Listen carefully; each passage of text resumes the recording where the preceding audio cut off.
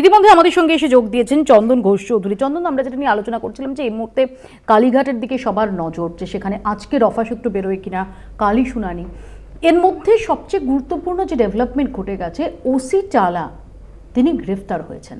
OC টালা গ্রেফতার হয়েছেন এবং সন্দীপ ঘোষ, সন্দীপ ঘোষকে এই ধর্ষণ এবং খুনের মামলা যাকে অ্যারেস্ট করা হয়েছিল দুর্নীতির মামলায়, সেই সন্দীপ ঘোষকে ধর্ষণ এবং খুনের মামলায় সোন অ্যারেস্ট করা হয়েছে।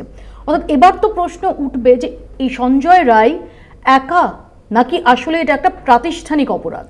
অ্যাবসলিউটলি মৌপিয়া আমি এখানে প্রথমেই ক্ষমা চেয়ে নিচ্ছি, কিন্তু আমি তোমাদের স্ট্রিমটা এন্টায়ারলি দেখেছি, প্রত্যেকের বক্তব্য শুনেছি। একটা জিনিসে আমাদের কোনো সন্দেহ নেই যে সিবিআইয়ের বিরুদ্ধে অনেক দিন ধরে এই প্রশ্নটা ছিল যে সিবিআইয়ের অগ্রগতি কী, অর্থাৎ অ্যারেস্ট তো আমরা করেছি। ঠিক সেখানে দাঁড়িয়ে এই ধর্ষণ কাণ্ডে সন্দীপ ঘোষ এবং অভিজিৎ মণ্ডলকে গ্রেপ্তার করে এবং ওই কারণে গ্রেপ্তার করা একটা জিনিসকে স্ট্যাবলিশ করল যে এটা শুরু, এটা কিন্তু হিমশৈল চূড়া, এর কিন্তু একটা ব্যাপক ব্যাপ্তি আছে, এটা কোনো সন্দেহ নেই।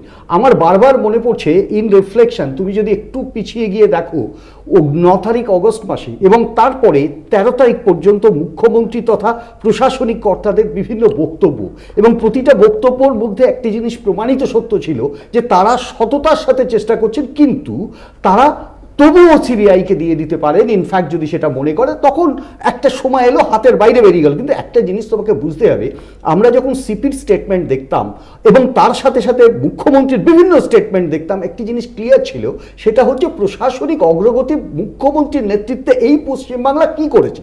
প্রশ্নটা কিন্তু এখানে একটা বড় প্রশ্নচিহ্ন এঁকে দিয়ে গেল।